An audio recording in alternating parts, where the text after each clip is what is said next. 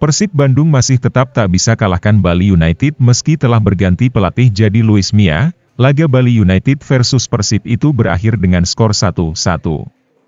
Dengan hasil ini, Persib tetap berada di urutan 2 dengan raihan 46 poin di bawah PSM Makassar di urutan 1 yang mengoleksi 47 poin. Sedangkan Persija ada di urutan 3 dengan raihan 44 poin. Persib kembali bisa naik ke puncak klasemen jika bisa mengalahkan PSM Makassar pada Senin, 14 Februari 2023.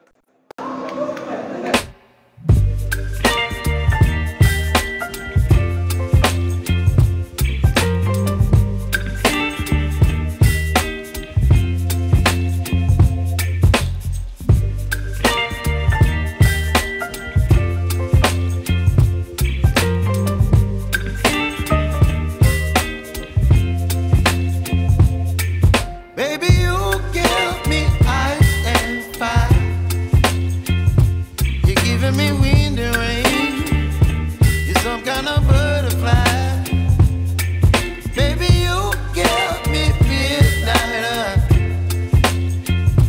You whip up my appetite. Don't leave me here.